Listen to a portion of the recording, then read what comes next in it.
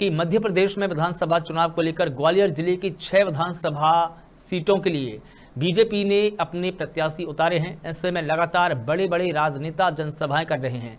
इसी क्रम में ग्वालियर में पूर्व विधानसभा और दक्षिण विधानसभा भीतरबार विधानसभा में प्रत्याशियों के समर्थन में मुख्यमंत्री शिवराज सिंह चौहान को संबोधन देने के लिए जाना पड़ा। उन्होंने इस, यहाँ पर जनसभाओं को संबोधित किया। है इस दौरान पूर्व विधानसभा की जनसभा में प्रत्याशी माया सिंह ने सीएम शिवराज का फूलमाला पहनाकर भव्य स्वागत किया। वहीं जनसभा में उपस्थित महिलाओं ने लाडली लक्ष्मी योजना के लिए मुख्यमंत्री शिवराज सिंह चौहान को धन्यवाद दिया। उन्होंने कहा कि अब मुख्यमंत्री शिवराज सिंह चौहान विजयश्री प्राप्त करेंगे।